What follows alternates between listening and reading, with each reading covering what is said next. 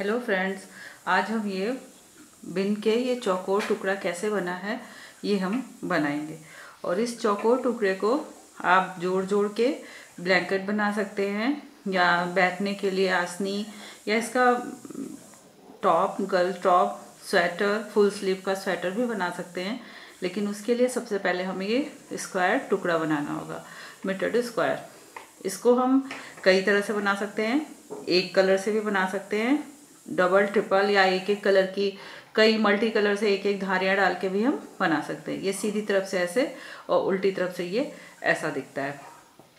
और इसको मैंने दोनों तरफ़ से उल्टे उल्टे बुने हैं। आप दोनों तरफ़ से सीधा सीधा या स्टॉक स्टिच में भी बना सकते हैं, लेकिन ये थोड़ा फ्लेक्सिबल रहता है, देखिए। तो इसको अगर हम इसका स्वेटर या टॉप बनाते हैं तो बनाने में थोड़ी आसानी होती है। स्वेटर और टॉप इसके जो स्वेटर हम बनाएँगे, उसमें ना कोई डिक्रीज होता है, ना कोई इंक्रीज होता है, ना फंदे घटते हैं, ना बढ़ते हैं। इस तरह के टू पीसेस हमें बनाने होते हैं और बाह हमें अलग से बनाती होती होती है। सपोज़ जैसे ये स्वेटर हमने बनाना है तो ये हम एक पीस बनाएँगे जित, जैसे ये जो पीस है मैंने यहाँ से फंदे डाले हैं, ये देखिए, इस जगह से मैंने फंदे डाले हैं और वही चीज़ हमारी ये दोनों तरफ़ इस तरह से गई है। तो जैसे अगर हमें छोटे बच्चे का दो से ढाई साल के बच्चे का स्वेटर बनाना है तो जैसे नॉर्मली हम पचहत्तर फंदे डालते हैं तो हमें उसके जस्ट डबल डालने होंगे। और ये जो फंदे इस स्क्वायर के बनते हैं, ये हमेशा इवन नंबर में अगर आप बन ऑड नंबर में फंदे डालें, जैसे इवन नंबर में आप डाल रहे हैं तो उसमें एक फंदा हम एक्स्ट्रा रखेंगे। तो हमेशा ऑड नंबर में ही फंदे पड़ते हैं इसमें। और ये मैंने सेवेंटी फाइव फंदे डाले हैं, जिसमें यहाँ से शुरू होके ये इस तरफ़ से ऐसे एल शेप में बनाया और इसको बनाने के लिए दोनों तरफ़, देखिए, इधर से इधर से, ऐसे बनता है। तो इसको चलिए हम बनाते हैं। इसका स्वेटर बनाने के लिए बस हमें क्या करना होता है कि हमें लेंथ ले लेनी होती है, जितनी लेंथ चाहिए। आप इसमें नीचे चाहें तो अलग से बॉर्डर भी बना सकते हैं। एक सीधे एक उल्टे का या कुछ अलग से बना के बॉर्डर लगाना चाहें तो लगा सकते हैं। फिर उसके बाद हमें कंधे पे जितने जितना चौड़ा, मान लीजिए ये दो अंगुल का कंधा है शोल्डर पे हमें तो उतना हम छोड़ के इधर छोड़ देंगे और भी, उतना ही हम इधर छोड़ लेंगे। तो बीच का हिस्सा हमारा गले का हो जाएगा। और जब हम ये आर्म होल की शेपिंग करते हैं तो हम फंदे घटाते हैं। इसमें हमें फंदे घटाने नहीं होंगे। इसमें हमें ऐसे उतना ही नाप लेना है। जैसे दो इंच हम किसी अपने स्वेटर से नाप लेंगे कि हमारी आर्म होल की लंबाई कितनी है लेंथ कितनी है, उतना हम रख के और उसके बाद वाले दोनों पार्ट्स हम जोड़ देंगे। और लेंथ हमें कम लगे तो हम नीचे से बॉर्डर बना सकते हैं। और जो ये गला होगा पहले तो हम ये टुकड़ा बनाते हैं स्क्वायर अगर आपको पसंद आएगा, आप चाहेंगे तो हम आगे स्वेटर भी बना के ट्राई कर सकते हैं। तो इसको मैंने पचहत्तर फंदे डाल लिए हैं। पचहत्तर फंदे डालने के बाद ये देखिए, मैंने ये पचहत्तर फंदे डाल के एक सिलाई सीधी, एक सिलाई उल्टी बिन ली है। और ये जो फंदे यहाँ पे आप कॉर्नर्स देख रहे होंगे ये कॉर्नर पे ये इस तरह से जा रहा है। तो इस जगह पे जो होगा तीन का एक किया जाता है। तो ये सिर्फ़ तीन का एक राइट साइड में होगा सीधी तरफ़ से होगा। उल्टी तरफ़ में पूरी सिलाई नॉर्मल जैसे प्लेन उल, उल्टी बुनते हैं वैसे ही बुनेंगे। तो ये पचहत्तर फंदे हैं तो इसको हम जस्ट आधा कर लेंगे। सेंटर के तीन फंदे छोड़ के हम आधा कर लेते हैं उल्टे बुनते हुए। तो ये देखिए one two three one two three four मतलब ये आठ सिलाइयाँ मैंने ये पर्पल उनकी बिनी है। तो हम इसको सेंटर तक आते हैं। सेंटर के जो तीन फंदे जो बचेंगे, दोनों तरफ़ बराबर बराबर होंगे और बीच में तीन फंदे। तो चलिए मैं उतना बुनती हूँ, जैसे नॉर्मल उल्टा बुनते हैं। ये देखिए, हमने आधा बुन लिया। सेवेंटी फोर ये कुल टोटल सेवेंटी फाइव फंदे हैं। तो मैंने बेसिक ये है कि एक फंदा इधर का, एक फंदा इस तरफ़ का होता है। एक जो हमारा सेंटर वाला जो हमारा बीच का फंदा है, वो होता है। तो तीन फंदे का एक फंदा करते हैं। तो अब यहाँ पे मैंने आपको क्लियर करने के लिए मार्कर लगा लिया है। तो थर्टी सिक्स फंदा इधर है। आप काउंट भी कर सकते हैं। One, two, three four five six seven eight nine ten eleven twelve thirteen fourteen fifteen sixteen seventeen eighteen nineteen twenty twenty one twenty two twenty three twenty four twenty five twenty six twenty seven twenty eight twenty nine thirty thirty one thirty two thirty three thirty four thirty five thirty six ये thirty six फंदा इधर है तो यहाँ पे मैंने एक marker लगा दिया और ये तीन फंदे हमारे सेंटर के मतलब एक फंदा इस तरफ़ का, एक फंदा इस तरफ़ का और एक सेंटर वाला। तो अगर सेवेंटी फोर को हाफ़ हाफ़ करेंगे तो थर्टी सेवन होगा। तो देखिए, एक फंदा इस साइड का आ गया, इधर भी, अभी इस समय थर्टी सिक्स इधर है। तीन ये बीच के। तो अब एक मार्कर हमने इधर लगा लिया तो तीन फंदे को हम एक साथ उल्टा बिन लेंगे ये बीच का सेंटर बनाने के लिए। थोड़ा बड़ा हो जाए तो थोड़ा क्लियर होता है किससे हम भू लेना। फिर हमने मार्कर इधर स्लिप कर दिया अब बीच का एक फंदा है। मतलब एक हमें इस तरफ़ से लेना है, एक हमें इस तरफ़ से लेना है, एक ये बीच का तो तीन फंदे हो जाएँगे। और अगर आप इसको इस तरह से देखें तो हम ऐसे भी कर सकते हैं कि ये एक फंदा इधर का ले लिया, पहले ही। इधर अब हमारे थर्टी फाइव बचे। फिर एक फंदा हम इधर का भी ले लेंगे। तो कोई कन्फ्यूज़न नहीं होगा। तो हमारे बीच के तीन फंदे हमेशा तीन के तीन ही बने रहेंगे। और बाकी अब इधर भी इधर भी थर्टी फाइव हो गए, इस तरफ़ भी थर्टी फाइव हो गए। तो इसे हम नॉर्मल जैसे उल्टा बुनते हैं, उसी तरह से पूरी सिलाई हम उल्टी बुन लेंगे। दो, तीन। यहाँ तक हम पूरी इसे उल्टी बीन लेंगे। बस बीच में तीन का एक होगा। एक हमारा जो एक्स्ट्रा वाला फंदा था, एक इस तरफ़ से और एक इस तरफ़ से। इसीलिए मैंने ये बीच में मार्कर लगा लिए कि आपको ये क्लियर हो सके। तो हम पूरी सिलाई उल्टी कंप्लीट कर लेंगे। ये देखिए, हमारी पूरी रो कंप्लीट हो गई। हम सिलाई को पलट के अब हम उल्टी साइड में आ जाएँगे। उल्टी साइड में हमें टोटल पूरी सिलाई उल्टी ही बिननी है। यहाँ कोई, बस जो हम तीन का एक करेंगे, सिर्फ़ राइट साइड में होगा, उल्टी तरफ़ से नहीं। ये जो बीच के तीन फंदे हैं, ये भी उल्टे ही बुने जाएँगे और पूरी सिलाई उल्टी हम बिन लेंगे। और सीधी तरफ़ से इस मार्कर तक हम पूरा उल्टा बिन के फिर हम देखते हैं क्या करते हैं। ये देखिए, उल्टी तरफ़ हमने पूरी उल्टी बिन ली, सीधी तरफ़ भी यहाँ तक हमने ये जो हमारे बीच के मार्कर जो हमने तीन फंदों पे लगाया था, उससे एक फंदे पहले तक मैंने पूरा उल्टा बिन लिया। अब उसके बाद हमें क्या करना है? बुनना हमें इस फंदे को भी उल्टा ही है ऐसे बुन लिया। अब यहाँ पे हम, ये देखिए, एक ये मार्कर लगा देंगे और इस फंदे को हम उल्टा बुन लेंगे। ये और ये मार्कर गिरा देंगे। अब हमारे ये सेंटर के तीन फंदे हैं। एक इस तरफ़ का, एक इस तरफ़ का, एक बीच वाला। तो ये तीन का, एक हमने उल्टा कर दिया, एक साथ तीनों बिन दिए। देखिए, ये वन टू थ्री ये तीन फंदे एक इस साइड का, एक इस साइड का, एक हमारा जो बीच का एक्स्ट्रा फंदा था। तीनों, तीन का एक कर दिया। तो एक हमने इधर से लिया था, एक ये दो हो गए। अब हम इस मार्कर को निकालेंगे और एक इस साइड का फंदा ले लेंगे। तो बीच के हमारे हमेशा की तरह तीन हो गए और फिर हम एक मार्कर लगा देंगे।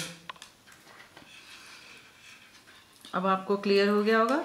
फिर हम पूरी सिलाई उल्टी बिन लेंगे। लास्ट तक पूरे फंदे हम उल्टे बिन लेंगे और उल्टी साइड में भी हम पूरे इधर उल्टे बिन के। और जैसे ये तीन का एक सेंटर में हम करते जा रहे हैं, वैसे हम तीन का एक करते जाएँगे।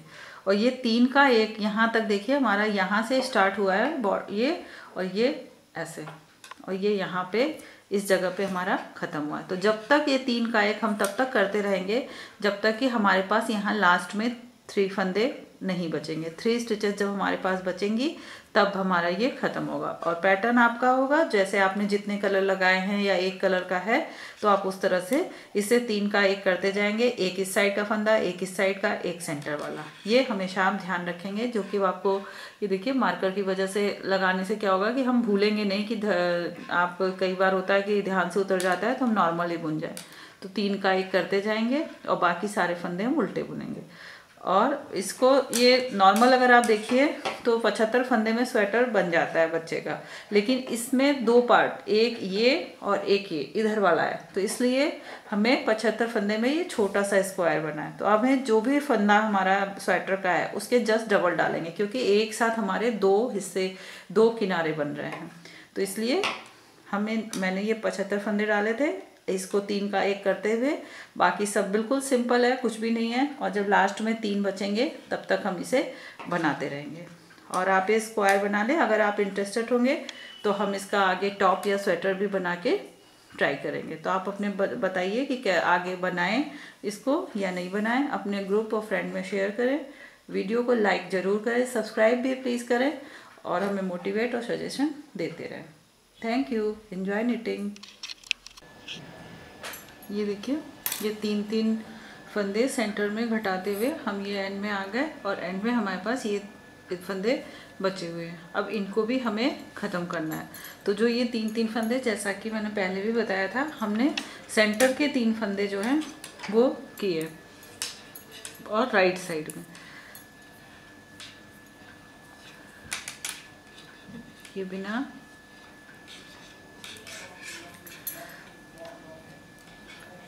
दो। ये ये सेंटर के तीन है तो इन तीनों को एक साथ हम तीन का एक कर देंगे। और एक इधर का बचा, इस साइड का बचा। ये बस। फिर उल्टी तरफ़ हम पूरे नॉर्मल उल्टे ही बुनेंगे। ये इस तरह से वन टू, ये तीन। ये एंड कैसे करना है? मैं ये आपको दिखा रही थी कि लास्ट में जो हमारे पास ये वापस तीन फंदे बचेंगे। तो इन तीनों को हम ऐसे एक साथ, तीन का एक एक साथ ये उल्टा बुन देंगे। तो तीन का एक, ये उल्टा हो गया। तो ये हमारा ख़त्म हो गया। इसका यहाँ पे ख़त्म हुआ था, इसका यहाँ। अब ये ये दो हमारे पास दो स्क्वायर पीसेस इकट्ठे हो गए। अब हमें क्या करना है या तो हम इसको क्लोज कर दें और हम इसको ऐसे भी रख सकते हैं कि जितने कंधे पे फंदे रखने होते हैं, उतने दूर हम यहाँ सिलाई कर देंगे, यहाँ से यहाँ तक और इधर से इधर तक। और बीच वाला हिस्सा ये हमारा गले का हो जाएगा और यहाँ पे जो जितने याम होल के लिए, कंधों के लिए खुला रखते हैं, उतना यहाँ ऐसे खुला रखेंगे और नीचे तक इसको सिलाई कर देंगे। उसी तरह दोनों तरफ़ और इसको एक तरह से और भी कर सकते हैं कि यहाँ नीचे भी हम फंदे उठा के बॉर्डर बना लें और दोनों तरफ़ अलग अलग इधर पहले फंदे उठा के एक सीधे एक उल्टे या दो सीधे जो बॉर्डर आप बनाना चाहें वो बना लें और इधर के पले और यहाँ पे गले पे हम आपको दिखाते हैं कि हम इसको फंदे उठा के चार सिलाई हम बुन लेंगे। जैसे यहाँ पे हमारा ख़त्म हो गया। तो इस जगह पे हम ऐसे इसको ये ख़त्म कर देंगे। इसको क्लोज कर देंगे और फिर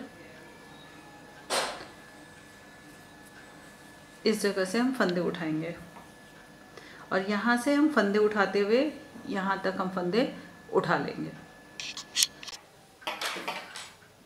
यहाँ पे हम एक चीज़ और ध्यान रखेंगे कि ये जो हमारा ला एंड वाला कॉर्नर है, इसको हम चाहें तो दोनों पोर्शंस को एक ही साइड में रख सकते हैं। जैसे ये फ्रंट वाला है और ये बैक साइड में। यहीं से हमने एंड किया था। और अगर, क्योंकि ये स्क्वायर है तो हम चाहें तो दोनों को एक साइड में रखें और चाहें तो हम इसको ऐसे रख लें कि फ्रंट में इस साइड में आ गया और बैक में इस साइड में आ गया। हम इसे अपने अकॉर्डिंग रख सकते हैं। अब हम यहाँ पे हमें फंदे उठाने हैं तो फंदे हम क्रोशिए से भी उठा सकते हैं और जैसे नॉर्मल सलाई से भी उठाते उठाते हैं, वैसे भी उठा सकते हैं। तो क्रोशिए से अगर हम उठाएँगे तो ये देखिए, जहाँ से हमने स्टार्टिंग की थी, इस जगह से ये ऐसे ये ऐसे उठाते जाएँगे और जब कुछ फंदे हो जाएँगे तो हम इन्हें सलाई पे अपने ले लेंगे इस तरह। और हर स्टेज के अंदर से, जैसे ये बड़ा सा होल है तो थोड़ा इसको छोड़ के इस दूसरी जगह से ले लेंगे, नहीं तो छेद और बड़ा दिखेगा। ये देखिए, ये इस तरह से हर स्टिच में से हम एक एक फंदे बिल्कुल किनारे से उठाते जाएँगे। और जब ये कुछ हो जाएँगे फंदे तो जैसे, ये देखिए, हम इन्हें वापस ऐसे सलाई पे ले लेंगे, ये, इस तरह से। और अगर सलाई से उठाना चाहें तो जैसे हम नॉर्मल फंदे उठाते हैं, ये ऐसे, ये इस तरह से, ये ऐसे, हर स्टेज के अंदर से ऐसे हम फंदे उठा लेंगे।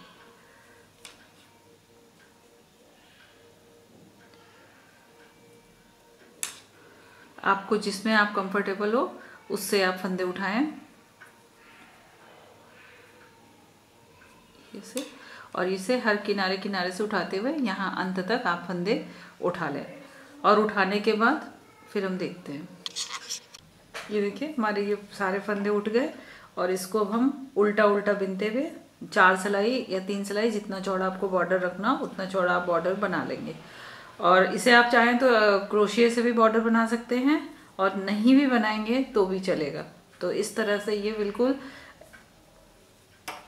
जैसे उल्टा उल्टा दोनों तरफ़ से हम बॉर्डर बना के चार सिलाई बनाते हैं। ये देखिए, मैंने सिर्फ़ तीन सिलाई बनाए क्योंकि ये छोटा सा है, लेकिन जब आप बड़ा बनाएँगे तो ये चार, दो अंगुल का या एक अंगुल का जितना बॉर्डर बनाए, इस जैसे यहाँ बना लिया।